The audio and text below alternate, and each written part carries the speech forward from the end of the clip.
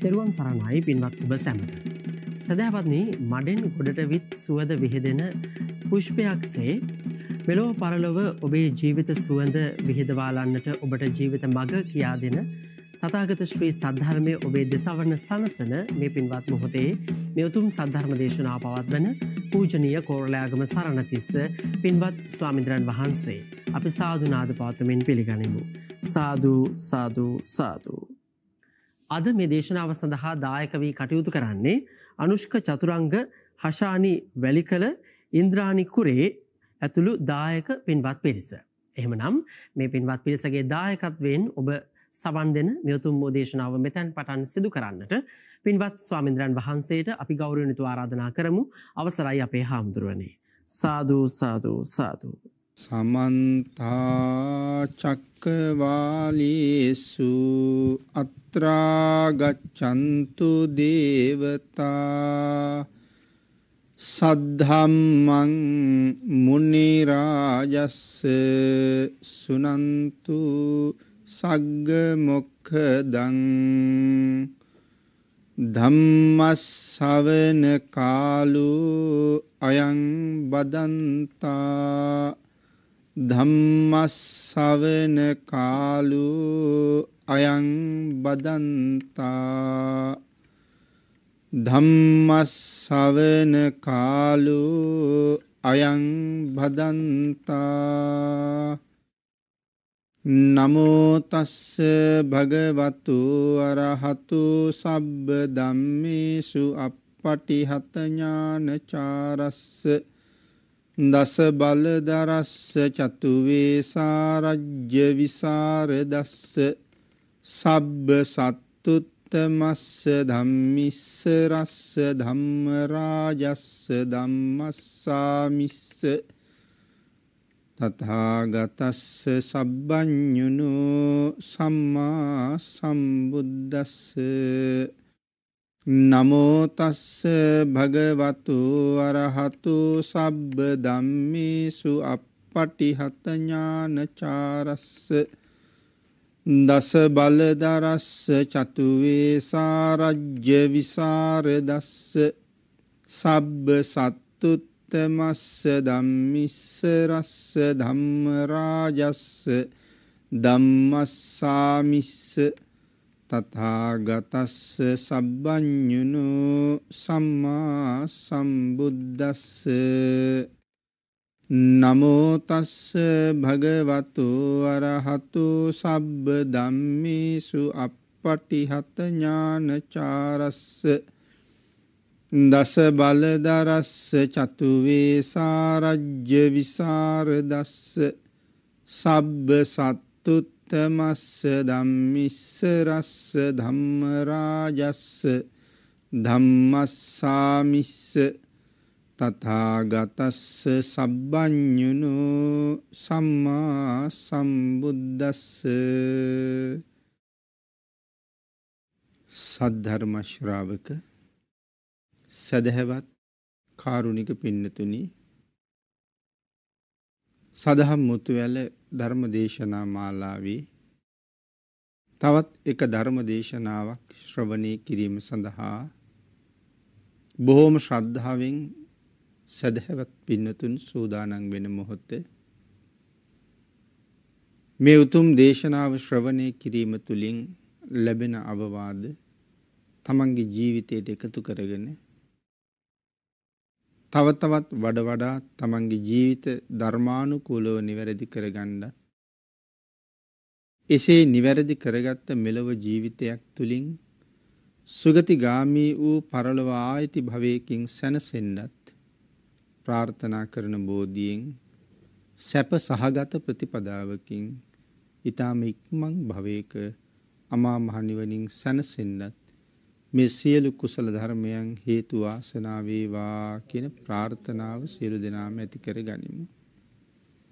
පින්නතුනි අද ධර්ම දේශනාවේ මාතෘකාව හැටියට මම යොදා ගන්න කල්පනා කළේ සිත රැක ගැනීම කොයිතරම් වටිනවද? කල්යාණ මිත්‍රයන්ගේ උපකාරය මේ සංසාරයේ කෙරවල කරන්න මොනතරම් පහසුවක් අපිට ඇති කරනවාද කියන කාරණාව පැහැදිලි කෙරෙන ධම්මපද පාලියේ සඳහන් වෙන එක ගාථා රතනයක් තමයි මම මාතෘකා කරගන්න කල්පනා කළේ. ඒ ගාථා රතනේ සඳහන් වෙලා තියෙන්නේ ධම්මපද පාලියේ දණ්ඩ කියන වර්ගයේ අවසාන ගාථාව. උදකංහි නයන්ති නෙත්තිකා උසුකාරා නමයන්ති තේජනං. දාරුන් නමයන්ති තච්චකා අත්තානං දමයන්ති සුබ්බතා. මේ ගාථාරතනයේ සරල තේරුම තමයි උදකංහි නයන්ති නෙත්තිකා. නෙත්තිකා කියල කියන්නේ කුඹුරු වැඩ කරන අය. වැවේ ඉඳලා තමන්ගේ කුඹුරට ගොවිය වතුර අරගෙන යනවා වේල්ල දිගේ. ඒ වගේම කම්මල්කරුවා. උසුකාරා නමයන්ති තේජනං. උසුකාරා කියල කියන කම්මල්කරුවා. තේජවන්ත කියල කැන බොහොම ශක්තිමත් කියන එකයි. එම ශක්තිවන්ත යකඩ ඔහු නමනව තලනව ඇද කරනවා හැඩ කරනවා නොඒ ක්‍රමවලින් බොම අලංකාර නිර්මාණ කරනවා. යකඩවලින් අවි ආයුධත් හදනවා. තවත් නොයෙක් නිර්මාණ කරනවා. තමන්ට ඕන හැටියට යකඩය කීකරු කරනවා. ගොවියත් කරන්නේ එකයි තමන්ට ඕන හැටියට වතුර ටික කීකරු කරලා අරයනවා. දාරුන් නමයන්ති තච්චකා තච්චකා කියල කියල තින් ලී වැඩ කරන අයට. තැන් වර්තමානය අපි කියන වඩු වඩු කර්මාන්තය කියලන්නේ. අතීතයේ වඩු කර්මාන්තය වඩු වැඩ නැත්තං වඩුවා කියල කියෙන සියල්ල දන්න කෙනට. එකන ගයක් හදන්නගත්තුත් ගේ බඳින්ඩත් දන්නවා කපරාරු කරන්නත් දන්නවා ජනල්ලුළු හව හදන්ඩත් දන්නවා වහලි හදන්ඩත් දන්නවා මේ සියල්ලුම දේවල් දන්න කෙන තමයි වඩුව කියල කියල තියෙන්නේ. ලී වැඩ විතරක් කරන කෙනාට කියලතින් තච්චක කියලා. දාරුන් නමයන්ති තච්චකා ලී වැඩ කරන කෙනා. දැව දඩු ආදී අරගෙන ඒ වගේ අලංකාර නිර්මාණය කරනවා. අත්තානං දමයන්ති සුබ්බතා කීකරු පුද්ගලයා තමන්ගේ හිත දමනය කරගන්නවා. මේක තමයි ගාථාව සරල තේරුම. අපි භාග්‍යතුන් වහසේ මේ විදිහේ ගාථාවක් දේශනා කොට වදාලේ මොනවාගේ හේතුවක් නිසාද.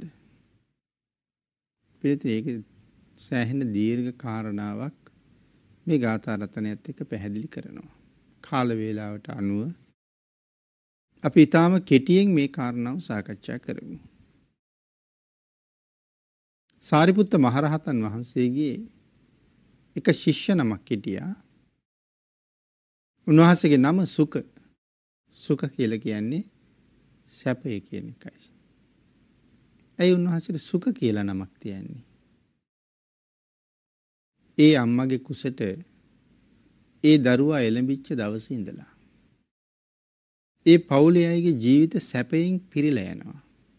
එතෙක් තිබිච් අඩුපාඩු මගෑරෙනවා ආර්ථික අපහසුතා මගෑරෙනවා ලෙඩරෝගවලින් සුවපත් වෙනවා. පවුලේ සියලු දෙනාම සැපවත් කරගෙන මාතෘ ගර්භයට ආපු නිසා. ඒ පුතාට ඉපදුනාට පස්සේ නම තියෙනවා සුක කියලා. අනිත් එක අම්ම කල්පනා කරනම් මගේ පුතා යම් දවසක මගෙන් යම් ඉල්ලීමක් කළොත් මං කවදාවත් ඒක ප්‍රතික්ෂේපණං කරන්නේ කියලා. ඉතින් දරුවත් ක්‍රමාණුකූලව හැදිල වැඩිල පෝෂණය වුණා සාරිපුත්තයන් වහන්සේත් මේ නිවසට නිතර නිතර වගේ පිඩු සිඟා වඩිනවා. දැම් මේ දරුවා සාරිපුත්තයන් වහන්සේව හොඳට අඳුරනවා. එක දවසක් අම්මට කියනවා අම්මේ මටත් උන්වහන්සේ වගේ පැවිදිවෙන්න බැරිවෙයිද. තැන් වයසවුරුදු හතක් විතර වෙලා. අම්මගේ බලාපොරොත්තුවක් තියෙනවන පුතාගේ ඉල්ලීමක් තිබොත් ප්‍රතික්ෂේප කරන්නේ කියලා. එනිසාම තීරණය කරනවා හිනම් මගේ පුතා සාරිපුත්තයන් වහන්සළඟ පැවිදි කරනවා. අදහස සැරියුත් මහරහතන් වහන්සේටත් දන්වලා සුදුසු කාලයක දරුව එක්කරගෙන ගිහිල්ල සැරියුත් මහරහතන් වහන්සළඟ පැවිදි කළා. පැවිදි කරලා මව්පියොත් සාරිපුත්තයන් වහන්සේ වැඩඉන්න ඉසව්‍යම නතර වෙලා දවස් හතක් එක දිගට දන්දුන්නා. අටවිනි දවස වෙනකොට දවස් හත දන්දීල ඒගොල්ල ඔක්කොම අස්පස් කරගෙන යන්න ගියා. සැරියුත් මහරහතන් වහන්සේ අටවිනි දවසේ සාමනේරයන් වහන්සේට කතා කරලා කියනවා දැඟිතින් අද පිණ්ඩ පාතය වඩිමු කියලා. පැවිදින හම නවත් සුකම තමා සුක සාමනේරය. දැන් සාරිපුත්තයන් වහසත් එක පිණ්ඩ පාතය වඩිනවා. වඩින ගමන් තමයි දකින්නේ වේල්ලක් තියෙනවා පාරයින්නේ. ඒ වේල්ල දැකල තමයි යහන්නේ ස්වාමීණී මේක මොකක්ද. සරිපුත්තයන් වහන් සඳහන් කරනවා සාමනීර ඕක වේල්ල. ස්වාමිනි වේල්ලක් කියන්නේ මොකක්ද. වැවේ ඉඳල කුඹුර දක්වා වතුර අරගෙන යන්නේ ඔය වේල්ල දිග. බැවතියෙන්නේ කොයිද. බැවතියෙන හුඟක් ඇත. එතොට වැවේ තියෙන වතුර වේල්ල දිගේ කුඹුරට යනව නං කුඹුර හොයාගෙන යන්න වතුරට හිතක් තියෙනවද. රාතන් වහස සඳහන් කරනවා සාමනයට වතුරට හිතක් නැහැ කියලා. එන කොහොමද කුඹුරට වතුර යන්නේ. මේ ගොවිය තමයි මේ වතුර ටික කීකරු කරලා අරන් යන්නේ. ජලය කියල කියන්නේ ඕනම තැනකට ගලාගෙන යනවා. දර මේ වේල්ල හදල තියන් ඒ වතුර පාර කීකරු කරගන්න. දෙපැත්තිං බැමි දෙකක් බැඳල මැද්දි ඇල හදල ඒ ඇල හදනකොට කඳු තියෙන් තැන්ගොල කඳු කපල ගල් තියෙන තැන්ගොලින් මගාරවල නැත්තන් සමහර තැන්ගොල ගල් ගලවල ක්‍රමාණුකූලෝ වැවේ ඉඳලා පල්ල හැට මේ කානුව කපල වෙල්ල හදල තියෙනවා. වෙනත් වෙනත් පැතිවලට වතුර අරගෙන යන්න ඕන්නම් ඒ ඒ තැන්වල වේල්ල අරින වහන ක්‍රම හදල තියෙනවා. මේ විදිහට ගොවිය තමයි මේ වතුර පාර කීකරු කරගෙන තමන්ට ඕන දිහට ගෙනියන්න නැත වතුර යන්නේ වතුරට ඕන දිහා. ගොවිය තමයි තමන්ට ඕන දිහට ගෙනියන්නේ. ඉති එහෙම කුඹුරට වතුරගෙන හිල්ල කුඹුර සරු කරගෙන ගොවිය ගොඩ සතුට වෙනවා. තවටිකක් ඕක අහගෙන දුර යනකොට දැක්කේ කම්මලක්. ස්වාමිනි මේක මොකක්ද. එක තමයි කම්මල. මෙතන මොනවාද කරන්නේ. බොහම ශක්තිමත් යකඩ මේ කම්මල්කරුවා විසින් රත් කරලා තලලා නොෙක් ආකාරයේ ආයුධ නොෙක් උප කරන හදනවා. ස්වාමීනී යකඩ වැඩ කරන කෙනාට උවමනා විදිහට ඒ ඒ විදිහේ ආයුධ හැදෙන්ඩ නැතන් ඒ ඒ දේවල් යකඩවලින් හැදෙන්න්න මේ යකඩට හිතක් තියෙනවද. මෙහෙම වෙන්ඩෝන මෙහෙම වෙන්ඩෝන කියලා. නෑ සාමනේර යකඩවලට හිත් නෑ. හිත තියෙන්නේ කම්මල්කරුවගේ. ඔහුගේ හිතට අනුව ඔහු යකඩේ කීකරු කරගන්නවා. තවටිකක් දුර යනකොට තමයි වඩු මඩුව හම්බ වෙන්නේ ස්වාමිනි මේක මොකක්ද. සාමනයට එක වඩු මඩුව. මෙතන මොනවාද කරන්නේ. ඇඳං පුටු මේ සාදී ගෘහබාණ්ඩ මෙ නොයෙක් දේවල් මෙතන හදනවා. ස්වාමීනී ඒව හදන දැව පුටුවක් හැදෙන්ඩ ඕන කියල දැවවලට හිතක් තියෙනවද. මේසයක් හැදෙන්ඩ ඕන කියලා දැවවලට හිතක් තියෙනවද. නෑ සාමනීරේ. මෙන්න මේ ලී වැඩ කරන කෙනා තමයි කැලේ ගිහිල්ල දැව කඳන් කපල වේලෙන්ඩ දාලා ඒවා ඉරල නොෙක් ආකාරයෙන් රැහැල කපල ඇද කරල විදල තමන්ගේ හිත යම්සේද ඔහුගේ හිතේ මැවෙනවාද මේවාගේ දෙයක් හදනවා කියලා ඒ දේ කරන්න අවශ්‍ය වෙන විදිහට දැව දඩු ටික ඔහු විසින් කීකරු කරගෙන තියෙනවා. ඇතුව ලීවලට හිතක් නෑ. උන්වහන්සේ දැන් කල්පනා කර කර යනවා හිතක් නැති වතුර වෙන කෙනෙක් කීකරු කරලා කුඹරට ගෙනියනවා. හිතක් නැති යකඩ තව කෙනෙක් කීකරු කරලා තමන්ට ඕන දේ කරගන්නවා. හිතක් නැති දැවදඬු කීකරු කරගෙන තමන් කැමති විදිහේ ගෘහ භාණ්ඩ හදනවා. ඒකකටවත් හිතක් නැහැ. ජලයට යකඩවලට දැවවලට මොනවටවත් හිතක් නැහැ. වැඩ කරන කෙනා ගාව තමයි හිත තියෙන්නේ. එහෙනම් මටත් හිතක් තියෙනවා. අරගොල්ලෝ වෙන වෙන දේවල් කීකරු කරනවා තමන්ගේ හිතට අනුව. මම මට ඕන හැටියට මගේ හිත කීකරු කරගත්තොත් මට කොච්චර සතුටු වෙන්න පුළුවන් වෙයිද? අරගොල්ලෝ හිත පිට නැති දේවල් කීකරු කරගෙන සතුටු වෙනවා. මම මගේ හිත කීකරු කරගත්තොත් කොහොම වෙයිද? ඕක කල්පනා කර කර ගිහිල්ලා එක තැනක නතර වෙනවා. නතර වෙලා කියනවා ස්වාමීනි මං අද පින්ඩ පාති වඩින්නේ නැහැ. මමත් යනවා හිත කීකරු කරන්න. එහෙම සඳහන් කරම් එහෙනම් සාමනීර මගේ පාත්‍රා සිවුරු මට දෙන්න. ඔබ යන්න හිත කීකරු කරගන්න නුඹේ වැඩේට. කුටිය ඇතුළට ගිහිල්ලා භාවනා කරන්න කියලා යතුරු දුන්නා. මොකද අවුරුදු 7ක පුංචි දරුවෙක්නේ. ඉතින් කරදර වලට වාජනය වෙන්න පුළුවන් නොඑක් විදිහට. හැබැයි යන්න යනකොට කියනවා ස්වාමීනි එතකොට මට දවල්ට දාන්නේ. අරන් එනවද කියලා ඇහුවා. අරන් එන්නම් සාමනීර. හැබැයි උන්වහන්සේ කියනවා ස්වාමීනි අද නම් වෑංජන 100ක් එක්ක දන් වල දන්න ඕනේ. මට එහෙම දාන වේලක් තමයි අද ඕනේ. මට හම්බෙයිද සාමනීර කියලා ඇහුවා. ඔබ වහන්සේගේ පිනට හම්බුනේ නැත්තම් මගේ පිනට හම්බෙනවා කිව්වා. ඉතින් ඔකත් මතක තියාගෙන සාරිපුත්තයන් වහන්සේ පිටත් වුණා. සාමණේරයන් වහන්සේ කුටියට වැඩලා දොර ඇරලා සඟල සිවුර එලලා භාවනාවට වාඩි වෙනකොට සක්‍ර දේවේන්ද්‍රයන්ගේ පාණ්ඩු කම්බල සෛලාශනේ රත් වෙලා මේ විශේෂ කාරණාව දැනුණා. හේතුව බලහම පඬිත සාමණේ සුඛ සාමණේරයෝ කුටි සාරිපුත්තයන් වහන්සේගේ කුටිය ඇතුලේ ශ්‍රමණ ධර්මයේ පූර්ණේ කරන්න ලෑස්ති වෙනවා. උන්වහන්සේට ඒ කාර්ය පහසු කරගන්න නම් රැකවරණය අවශ්‍යයි. ඒ නිසා කතා කළා සතරවරන් දෙවි රජවරුන්ට. කතා කරලා කියනවා සුඛ සාමණේරයෝ සාරිපුත්තයන් වහන්සේගේ කුටිය ඇතුලේ ශ්‍රමණ ධර්මයේ සම්පූර්ණ කරන්න ලෑස්ති වෙනවා. නමුත් ඒ කුටිය වටේට ඉන්න කුරුල්ලෝ කොබෙයියෝ කෑ ගහන්න පටන් ගත්තොත් කිසිම ගුණ ධර්මයක් පූර්ණේ කරන්න වෙන්නේ නැහැ. කියන්නේ හිත එකඟ කරගන්න වැඩක් කරන්න බැරුව යනවා. වහාම ගිහිල්ලා ඒගොල්ලෝ අයින් කරන්න කියලා. සුළුපටු හතර දෙනෙකුට නෙමෙයිනි කීවි. මහ රජවරු හතර දෙනෙකුට. සේවක දෙවියෝ හතර දෙනෙකුටත් නෙමෙයි කීවි. මේ හතර දෙනාම ඇවිල්ලා ඒ මුළු පරිසරයම නිහඬ කළා. සක්‍ර දෙවියෝ කතා කළා හිරු දෙවියන්ට. ඔහොමම නතර වෙන්න කිව්වා. සඳ දෙවියන්ටත් කතා කළා. නතර වෙන්න කිව්වා. සැරියුත් මහරහතන් වහන්සේ පිණ්ඩ පාති වැඩිය. සක්‍ර දේවේන්ද්‍රයන් වහන්සේත් උන්වහන්සේගේ කුටිය දොරකඩ ඇවිල්ලා හිටගත්තා.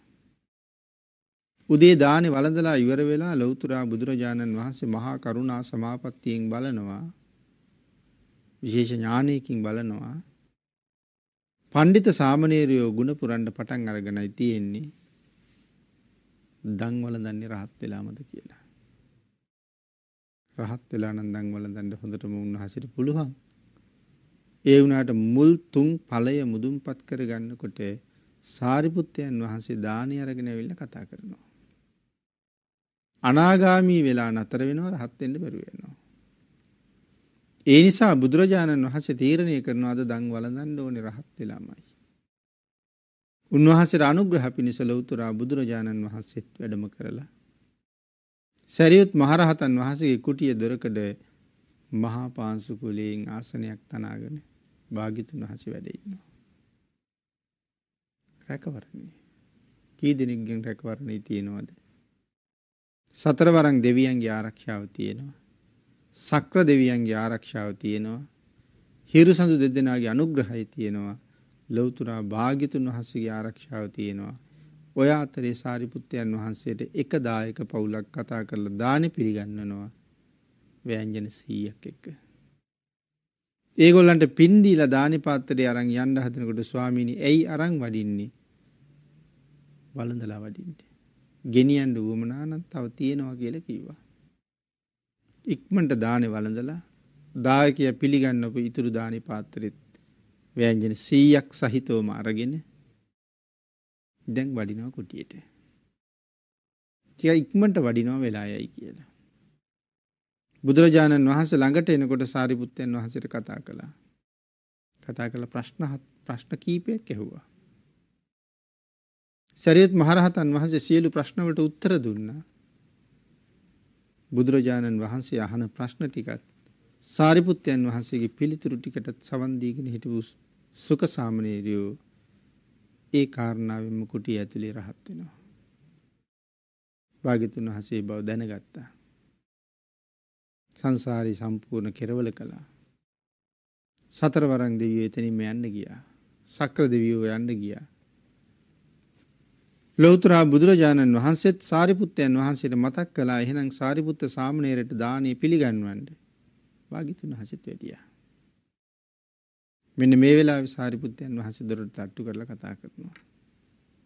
දොර ඇරියට පස්සේ සාමණේර වළඳන්න කියහම සාරිපුත්තයන් වහන්සේගෙන් අහනවා ස්වාමීනී වැළඳ වාද කියලා. මං වළඳලයි ඉන්නේ නුඹ වළඳන්න කිව්වා. ඉඳන් වේල බොහොම සතුටින් වළඳලා අවසන් වෙනකොට හිරු මඩල යා යුතු තැනට ගියා සඳ මඩල යා යුතු තැනට ගියා. අවබෝධයෙන් අවධානයෙන් සිහියෙන් ප්‍රඥාවෙන් ඉන්න සංඝයා හිරු සඳු වෙනස් වෙනකොට ඒක දැනගත්තා. කරුණු කාරණා හොයලා බලලා මේ සිදුවීම දැනගෙන රහතන් වහන්සේලා උපේක්ෂා සහගත වනත් පෘතජ්ජන භික්‍ෂූන් වහසල චෝදනාවක් කළා සුක සාමනේරයෝ ඉරයි හඳයි නවත්තලා වේලා විදං වලදුව කියලා. අන්නේ කාරණාව පදනම් කරගෙන තමයි අපේ බුදුරජාණන් වහස මේ ගාතාරතනය දේශනා කරන්නේ. පුුණ්‍යවන්තයෝ ගුණපුරණකොට හිරු සඳු පවා අනුග්‍රහ කරනවා කියලා. ඉදේක මංතන අපි සියලු දෙනාට ජීවිතය නැවත ආපහු හිතන්න වටින ආදර්ශයක් කතාවක් භාගිතුන් වහසක දේශනාව. එතට මේ සුක සාමනේරයන් වහන්සේ සාරිපුත්තයන් වහන්සේට මතක් කලානේ. ව්‍යෑන්ජන සීයක් සහිතව දානයක් නුබහන්සගේ පිනට හම්බුන් නැත්තම් මගේ පිනට ලැබෙනවා කියලා.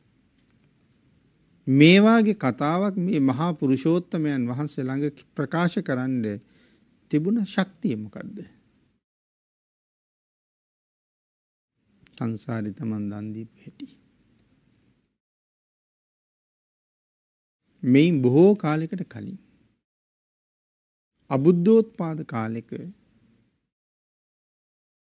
මොහු බොහොම දිලින්දෙක් හැටියට ඉපදිලා තියෙන සුඛ සාමීරියෝ ජීවත් වෙන්න විදියක් නැති නිසා දරපලල තමයි ජීවත්වෙන්නේ. දරපලාගෙන රථයක පටවගෙන වෙළඳ පොලට ගිල්ල විකුණලා ඕක තම ජීක ජීවිකා වෘත්තිය. ඉති ගිය හමත් එ නගරය ආසන්න පවුලක නතර වෙනවා ගෙදරක. මොකද එක දවසයකුන් ලයිවර කරන්න බෑ. දැන් එහෙම නතර වෙන්න තැනක් තියෙනවා ඔහු බොහොම හිතවත් වෙලා ඉන්නේ. මේ නගරේ ඉන්නවා ගන්ධක කියලා සිටුවරයෙක්. ඒ සිටුවරයට බොහෝම ධනය තියෙනවා. එක වේලක් සඳහා කහවණු දාහක් වියදැන් කරනවා.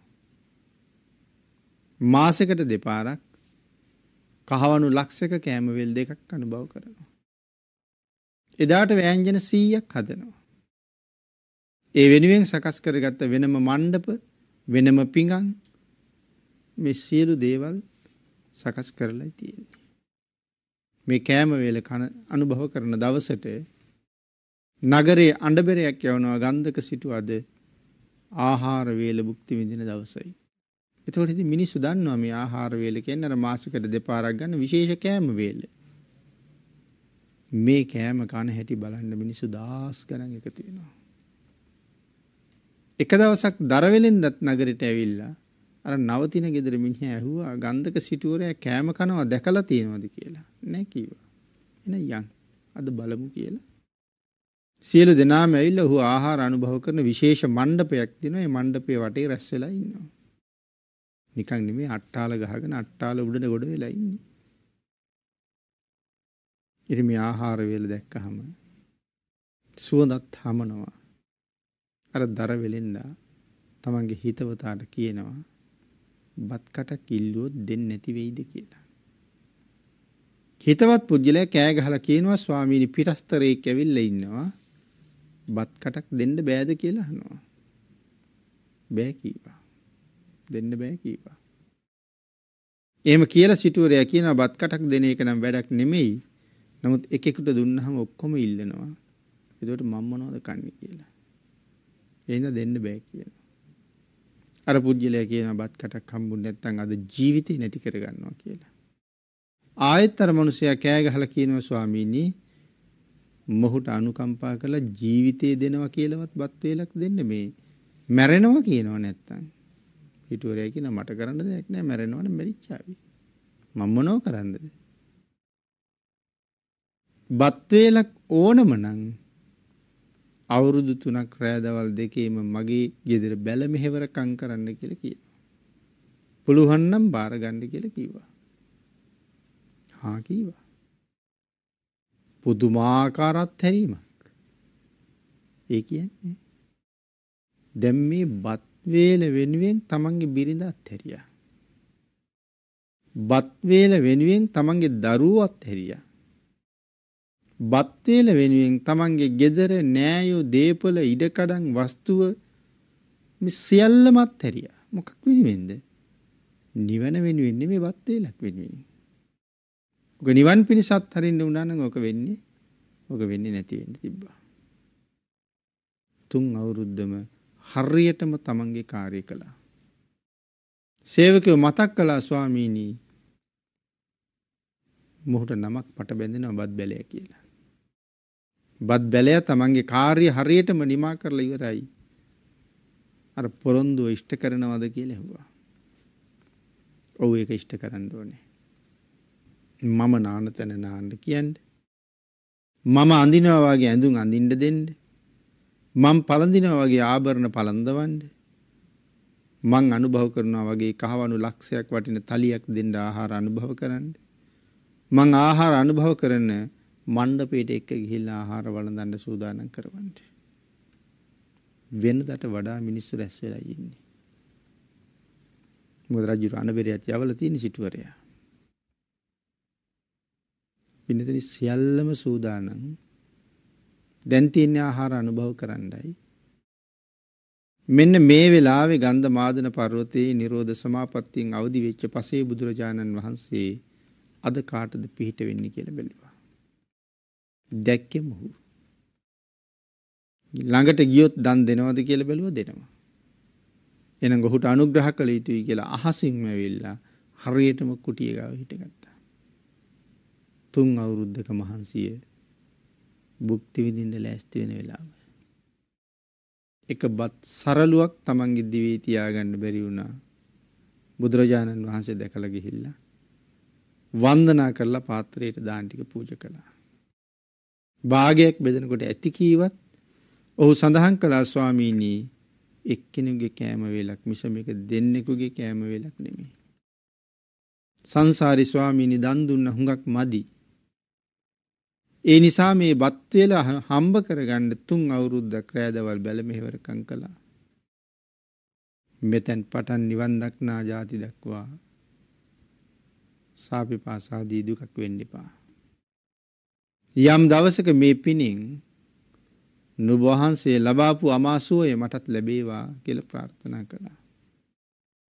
ආංගී ප්‍රාර්ථනාවට අනුව තමයි අපේ කාලී රහතන් වහන්ස කෙනෙක් බවට පත්වෙන්නේ. එදා ඒ දානය පූජා කරලා මිනිසු කෑගහනවා වෙනදට වඩා කෑගහනනේ මිනිසු සාදු කියනවා.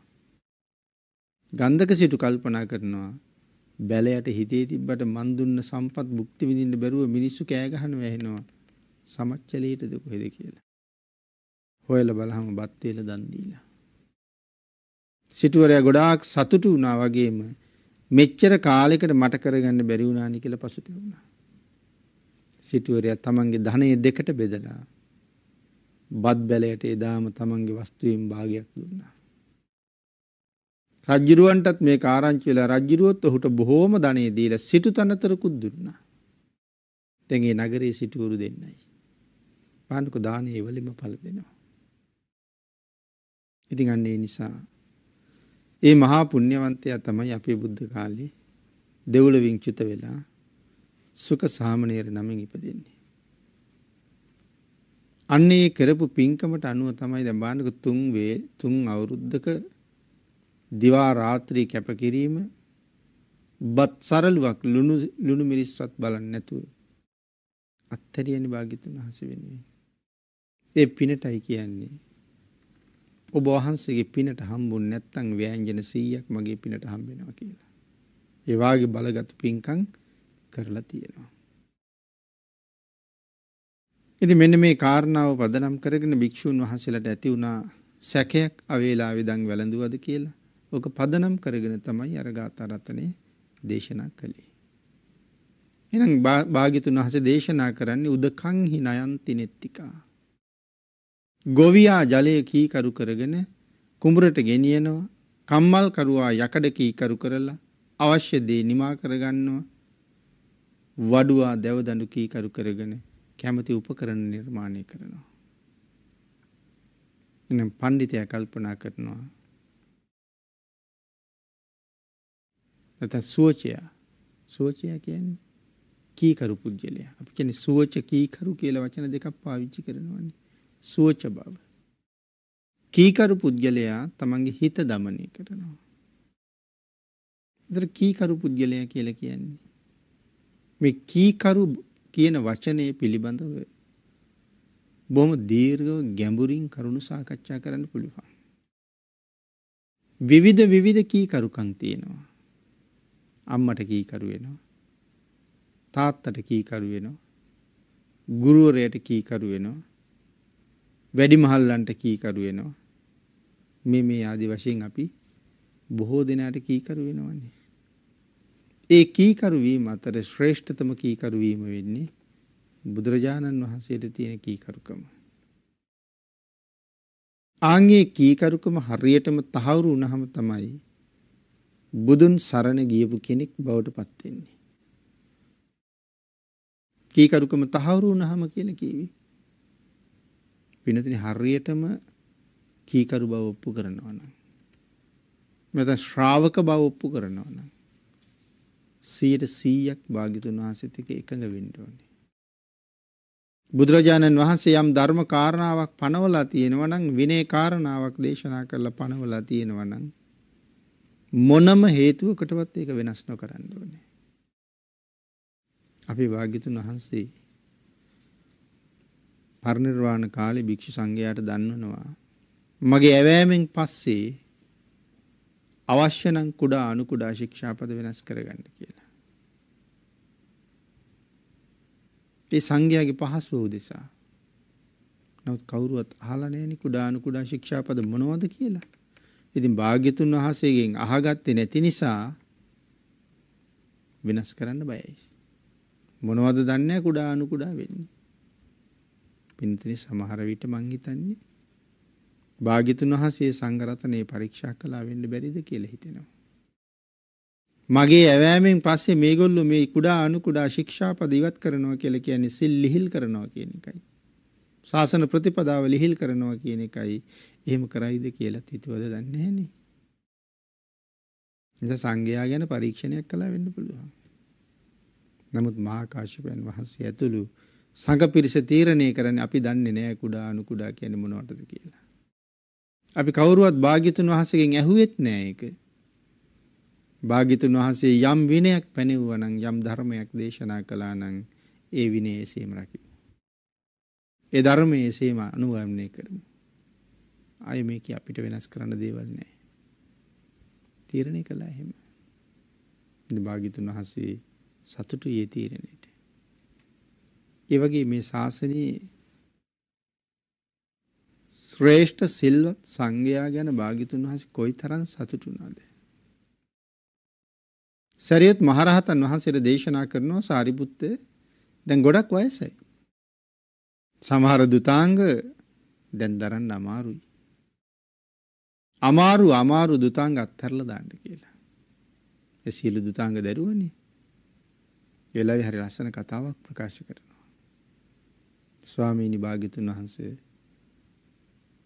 කෙතරම් අමාරුනත් මම මේ දුතාංග රකින්නම්. හේතු ලෝකයාගේ නිවන්දොර ඇරල දෙන්න. මගේ ශාස්තෘන් වහසේ මොන තරන් දුක්වින්දද. ඒ දුක්විඳල පිහිටෝපු ශාසනයෙන් අපි සැනසිලායින්නේ. ස්වාමීනී මගේ වයෝවෘද කාලේ මම අමාරු සිල්පද අයින් කළුත්. අනාගතයේ මේ ශාසනය පහළ වෙන භික්‍ෂූන් ඔවුන්ගේ පහසුවට මේක යොදා ගන්න පුළුවන්. වයසට ගිය හම. මහා කාශ්‍යපයන් වහන්සේත් සමහර ශික්ෂාපද නැත්තන් සමහර දුතාංග අයින් කලා නං වයසට ගියහම අපිටත් මේ මේ දේවල් කලාට කමක් නෑ මේ මේ දේවල් අයින් කලාට කමක් නෑ කියලා ඕනුත් එදාට තීරණවලට එළඹෙන්ඩ පුළුවන්. ඒක සම්මා සම්බුද්ධ ශාසනයාගේ විනාසයට හේතුවක් වෙන්න පුළුවන්. එහින්ද ස්වාමීනි මං හැමදා මේ සිල්පද දරන්න. ඒ තරං කීකරු බවක් තිබුණා. දුක්විඳල භාගිතුන් වහස ගොඩනගපු පිහිටවපු ශාසනයට එත් තරම් ලැදිකමක් තිබුණා. කීකරු කියනකොට භාගිතුන් වහන්සේගේ වචනයට සීයට සීයක්ම කීකරු කෙනට තමයි කීකරු ශිෂ්‍යයා කියල කියන්නේ. ඒ නිසා මේ කීකරු බව පිළිබඳව පින්නතින හරියට කතා කරන්න කරුණු තියෙනවා. එතර මේ ගාථාරතනයෙන් සමස්තය අරගත් හම පොදුවේ සඳහන් කරන තේරුම. මගේ හිත මට කීකරු කරන්න පුළුහන්න. වඩුවට පුළුහන්නන් තමන්ට අනුව දැවදඩු කීකරු කරගන්නඩ. කම්මල් කරුවටත් ගොවියටත් ඒ විදිහටම පුළුහන්නන්. ඇයි මට මට අනුව මගේ හිත හදාගන්න බැරි. දැනට අපේ හිත තියෙන්නේ අපිට අනුවද නෑ අපි ඉන්න හිතට අනුව. හිත හරි අකීකරුයි. එහිද හිතට ඕන දේවල් මගෙන් කරගන්නවා. සමහට සිල්ගුණ ආරක්ෂා කරන කෙනෙක්. මින නච්ච ගීත වාදිත විසූක දස්සන ආදී ශික්ෂාපද සමාදන් වෙලා ඉන්න කෙනෙක්. නමුත් මේ හිත හරියට බලපෑම් කරනවා. ගීතයක් අහන්ඩ නාට්‍යයක් බලන්ට. මම සිල් අරගනින්ද මං ඒව කරන්නේ. නමුත් හේතු හදල හදල හදල අන්තිමට මල්ලව්ව වැඩි කරවනවා. දරුණු අකුසල කර්ම මල්ලව්ව මේ හිත කෙරෙව්වා. දරුණු පාපකර්මවලට මේ හිත මව පෙළඹෙව්වා. සතරාපායට යන පැත්තට මාව මෙහෙව්වා මිසක් සුගතියට යන පැත්තට මව මෙහෙවල නෑ. බුදුරජාණන් වහන්සේ නිසයි සඳහන් කළේ මේ ඉන්ද්‍රියන් පාලනය කරගණ්ඩ කියලා. මොද හිතට අනුව මේ ඉන්ද්‍රියන් දුවනව හරියට හැම තැනම. ඔවුනොවුන්ට කැමති කැමති අරමුණු ළඟ තමයි නතර වෙන්නේ. නමුත් භාගිතුන් වහස දේශනා කළා. හිතට අනුව ඔබ යන්න එපා ඔබට අනුව හිත තියා ගණ්ඩ කියලා. දැම් ඒක කරන්න බැරි වුණාට ඒක කරන්න පුළුවන් දවසක් ඇති කරගන්න කියලා. එක කරන්න පුළුවන් වෙන්ඩ උත්සාහ කරන්න කියලා. එතර මේ ශාසනය එහෙම කරපු අය ඉඳලා තියෙනවද කලින්. පින්නතින සමහර වෙලාවට අපි අහන්නේ මේ ලෝකෙ සමහර දේවල් තවත් කෙනෙගේ කැමැත්තට අනුවයි සිද්ධ වෙන්න. සමහර කෙනෙක්ගේ අදහස දෙවියන්ගේ කැමැත්තට අනුව තමයි සියල්ල වෙන්න කියලා. හැබැයි මේ ශාසනයේ ශ්‍රේෂ්ඨත්වයට පත්තිච්ච භික්‍ෂූන් වහන්සේලා දෙවියන්ට තබා තමන්ගේ හිතට අනුවත් වැඩ කරන්නේ. හිත වැඩ කරන්න ඕනි තමන්ට අනුව. හිතට එන දේ කරනවන්න මෙයි තමන්ට ඕන දී කරනවා. එහිද හිත පාලනය කරපු හිත කීකරු කරපු පිරිසක් මේ විශ්වය තුළ මුණ ගැහෙනවා නම් ඒ මුණ ගැහෙන්නේ සම්මා සම්බුද්ධ ශාසනය තුළින්ම පමණයි. එනම් සුඛ සාමණේරයන් වහන්සේ පෙර දුගියෙක් වෙලා ඉන්න කාලෙත් තමන්ගේ හිත කයි කීකරු කරපු හැටි. මේ බත්වේල ගැන මොන තරම් තණ්හාවක් තියෙන්නේ නැද්ද? නමුත් අන්තිමට සඳහන් කළේ ස්වාමිනී දන් දුන්න මදි සංසාරේ. එක බත්වේලක් වෙනුවෙන් තුන් අවුරුද්දක් රෑදවල් මහසි වෙච්ච කෙනෙක් මම. ඒ සසර දන් දුන්න මදි නිසා. ඒ නිසා මේක දෙන්නෙකුට බෙදන්න ආහාරයක් නැහැ. ස්වාමීනි මට මනුකම්පා කරන්න.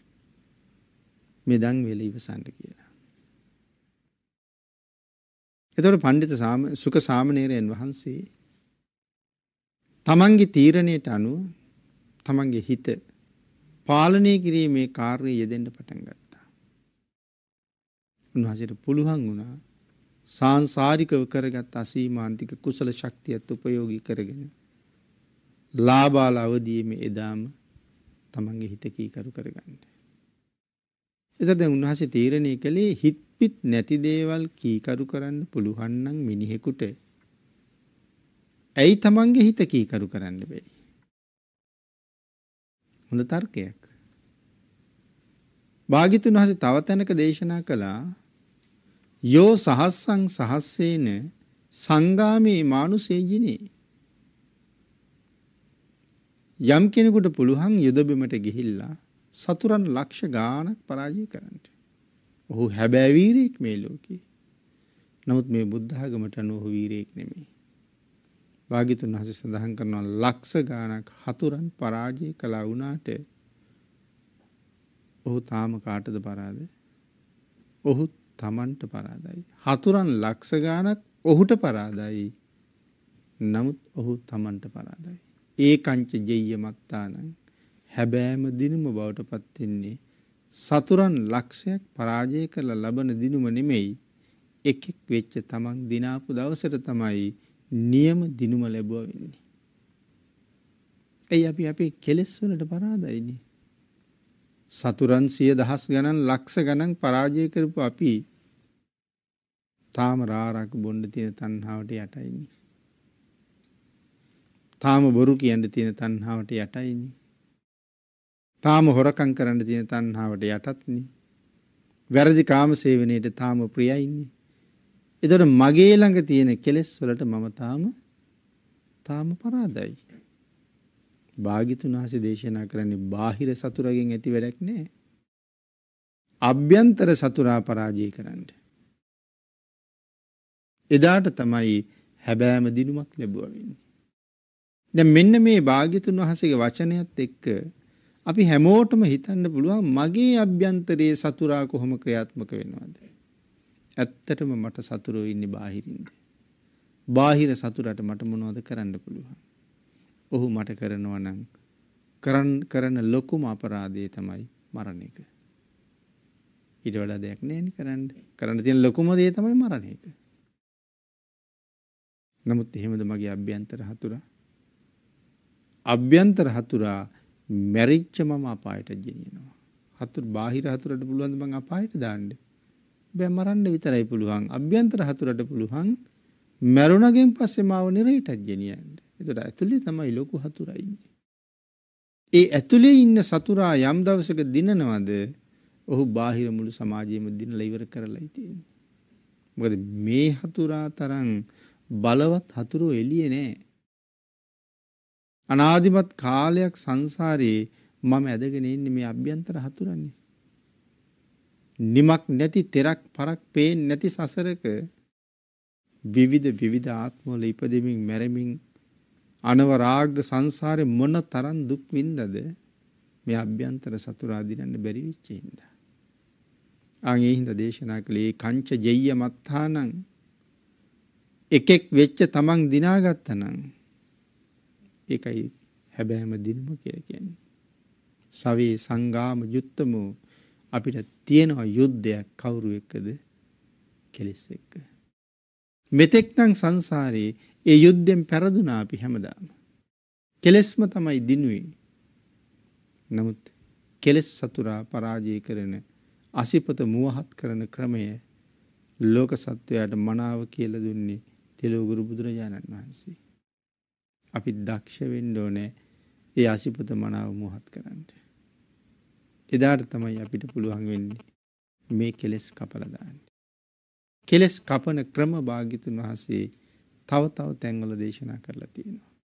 මගේ කඩුව තිවුණු වෙන්නේ කොයි තරමටද එදාට මං කෙලෙස් කපනකොට බාහිර කෙනෙකුට ඇහෙන්නෙත් නෑ. ගොපමාවෙන් දැක්වේ එතරම්ම මුවහත තිවුණු නැති කඩුවකින් කෙසෙල් ගහට කෙටුවොත් කෙසෙල් ගහ කැපෙනකොට හඬක් නැගෙනවා.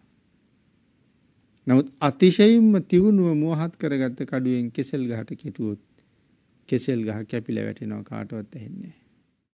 අන්න ඒ තරමට මේ කඩුව මුවහත් කරගත්ත දවසට සංසාරෙ මෙච්චර කල් මගින් පලිගත්ත කෙලෙස් මට කපල සුණු විසුණු කරන්න බොහොම පුළුවන්කම තියෙනවා. එනිසා භාගිතුන් වහස අවවාද කළා. මේ ඉන්ද්‍රියන් පාලනය කරන්න. අනවශ්‍ය දේට යන්නතුව ඉන්න. හැම වෙලාම කෙලෙස් පරාජය කරන්න උත්සා කරන්න. හැඟීම් වලට වඩා බුද්ධියට තැන දෙන්න ප්‍රඥාවට තැන දෙන්න.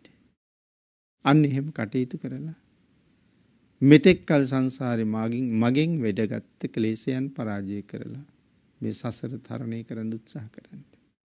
ඒ වෙනුවෙන් උනන්දුවෙන් පින්කං කරන්න. පින්කං කරනවා කියලකෙන අත්හරිනවා කියන එකයි. දන්දීම කියන අත්හැරීමක් සිල් රකිනෝ කියලකෙන අති විශාල අත්හැරීමක්. ඇයි මං ප්‍රාණඝාතයෙන් වලකින්ට පොරොන්දු වෙච්චහම ප්‍රාණඝාත කරන්න මං කැමති. සින්දුවහන්ඩ ගීත අහන්ඩ මං කැමති. නාට්‍ය බලන්ඩ මම කැමති. නමුත් ඒ අත්හැරලන සිල් ගත්ත කියල කියන්නේ. එන සීලය කියල කැන මහ සුවිශාල අත්හැරීමක්. අන්නේ අත්හැරීම මනාව සම්පූර්ණ කරන්න.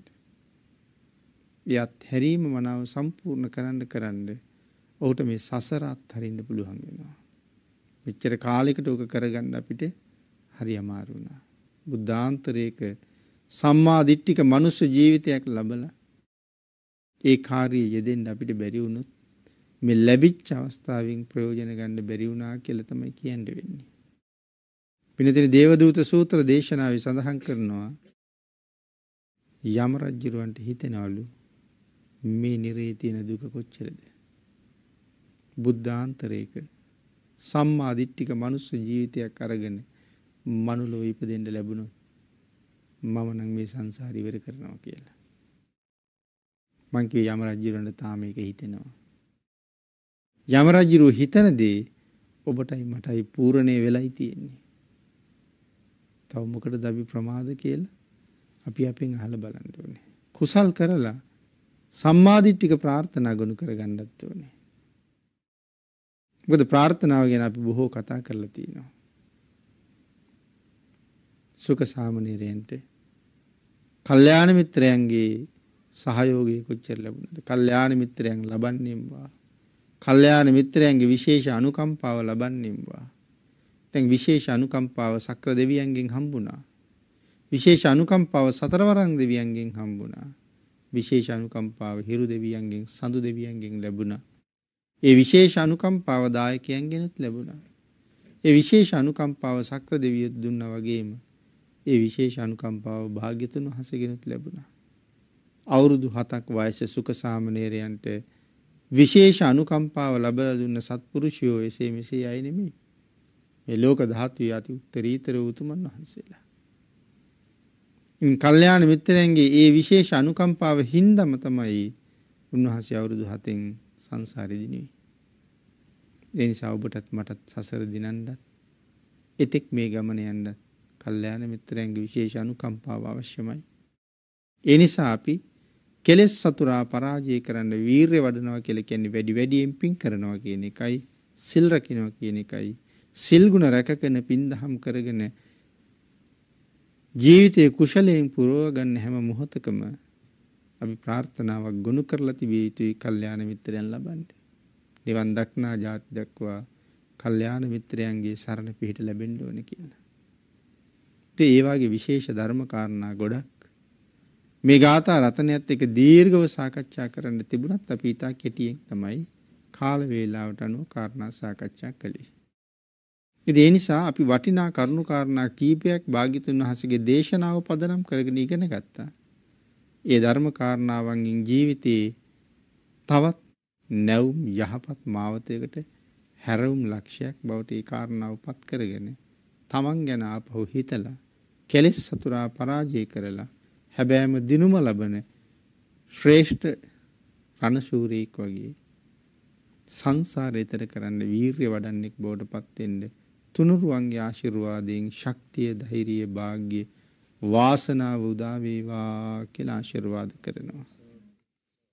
පින්නතුනි අද මේ උතුම් ධර්ම දේශනාවේ දායකත්වයේ දරනු ලබනවා අනුෂ්ක චතුරංග හෂානී වැලිකල ඉන්ද්‍රාණී කුරේ යන මහත්ම මහත්මීන් ඇතුළු සැදැහැති දායක පින්වත් පිරිසක්. ඒ සැදැහැති පින්නතුන්ගේ උතුම් අරමුණු හැටියට සිහිපත් කරනවා වැලිකල පවුලේ සහ ජයවර්ධන පවුලේ මියගිය සියලුම දෙමව්පියන්ට ඥාතීන්ට මේ පින් අනුමෝදන් වේවා ඉන්ද්‍රාණී කුරේ මහත්මියගේ මියගිය දෙමව්පියන්ට මේ පින් අඩු නැතුව අනුමෝදන් වේවා කියලා පුණ්‍යානුමෝදනා කරලා තියෙනවා. ඊට අමතරව පින්වත් ස්වාමින් වහන්සේ ප්‍රමුඛ කල්යාණ මිත්‍ර ස්වාමින් වහන්සේලාට දේශකයන්න් වහන්සේලාගේ දෙමව්පියන්ට දායකත්වයේ දැක්වූ සියලු දෙනාටමත් මේ පින් අනුමෝදන් කරන අතර සුජීවත්ව සිටින සියලු දෙනාටම රත්නත්‍රී ආශිර්වාදයෙන් නිදුක් නිරෝගී භාවයේ චිරජීවනයේ උදා වේවා කියලා ප්‍රාර්ථනා කරනවා. මේ මොහොතේ පටන් නිවන් දක්නා ಜಾති දක්වා අසත්පුරුෂ ආශ්‍රයක් නොලැබීම පිණිසත් කල්යාණ මිත්‍ර ආශ්‍රය වැඩි වැඩියෙන් ලබා ගැනීම පිණිසත් මේ රැස් කරගත් උදාර පුණ්‍ය ධර්මයන්ගේ ආශිර්වාදයෙන් නිරන්තරයෙන් අපිට ඒ උතුම් සම්පත්තිය ලබන්න භාග්‍ය වාසනාව උදා වේවා. නිරන්තරයෙන් කල්යාණ මිත්‍රයන් මුණ ගැහේවා. කල්යාණ මිත්‍රයන්ගේ අවවාද අනුශාසනා නිතර නිතර ලැබේවා. කල්යාණ මිත්‍රයන්ගේ අවවාද අනුශාසනා නිතර නිතර ලබා ගනිමින් සසර දුක කෙරවල කරගන්නත්. කල්යාණ මිත්‍රයන්ගේ විශේෂ අනුකම්පාවෙන් සසර දිනන්නත් භාග්‍ය වාසනාව උදා වේවා කියලා ප්‍රාර්ථනා කරලා තියෙනවා. සදැහැති පින්වත් පිරිස පුණ්‍යානුමෝදනා කළ සියලු දෙනාටම පින් අනුමෝදන් වේවා ආශිර්වාද කළ සියලු දෙනාටම රත්නත්‍රී ආශිර්වාදයෙන් නිදුක් නිරෝගී භාවයේ චිරජීවනයේ උදා වේවා ප්‍රාර්ථනීය බෝධියෙන් සැප සහිත ප්‍රතිපදාවෙන් අමා මහ නිවනින් සැනසෙන්න ලැබේවා කියලා ප්‍රාර්ථනා කරමි. ආකාසට්ඨා ච බුම්මට්ඨා දේවානාග මහිද්దికා පුඤ්ඤන්තං අනුමෝදිත්වා චිරං රක්칸තු ලෝක සාසනං දේවෝ වස්සතු කාලේන සස්්‍ය සම්පත්‍ති හේතුච පීතෝ භවතු ලෝකෝ ච රාජා භවතු ධම්මිකෝ।